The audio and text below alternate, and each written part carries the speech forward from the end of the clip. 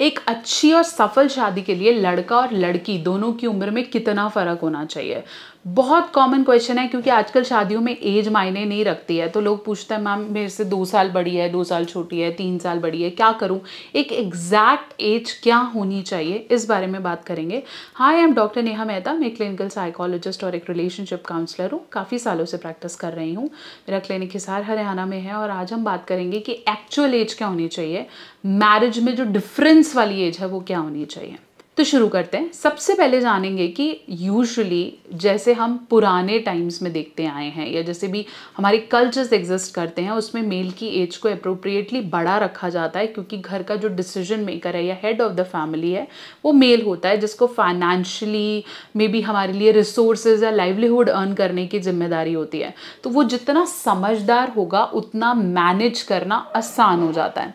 लड़की की as probably कम assume करी जाती है ताकि वो यंग हो। दोनों का जो बैलेंस है, वो बना रहे और वो उतना ही अच्छे तरीके से फैमिली को हैंडल कर पाए।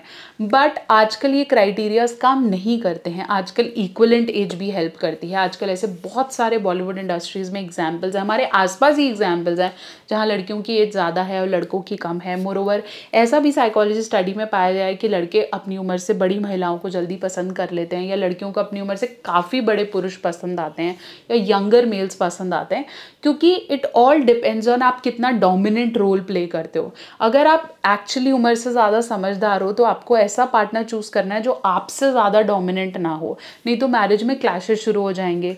और आपको लगता है मैं इनोसेंट हूँ, अभी मैं इन चीज़ों में नहीं हूँ, ऐसे में अगर आपको डोमिनेंट फाइनेंशियली अर्निंग फीमेल मिलती है तो definitely you can look for a marriage later इसमें फिर क्लैशेज होने के चांसेस नहीं रहते। अगर आप दोनों ही बहुत यंग हो, आप दोनों ही बहुत ज़्यादा डेडिकेटेड हो तो फिर थोड़े से क्लैशेस मैरिज के रिलेशनशिप में बढ़ जाते हैं।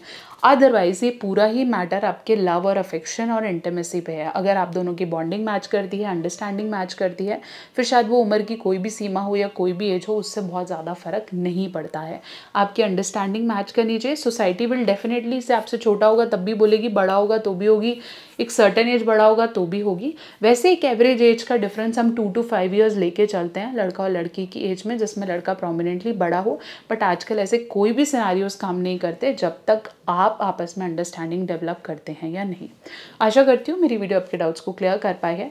ऐसा और कोई भी डाउट है, आपकी शादी ऐसे हुई है जिसमें एज गैप डिफरेंट रहा, लेकिन आप बहुत अच्छे से उसको लेके चल रहे हैं, मुझे कमेंट सेक्शन में ज़रूर बताएँगे।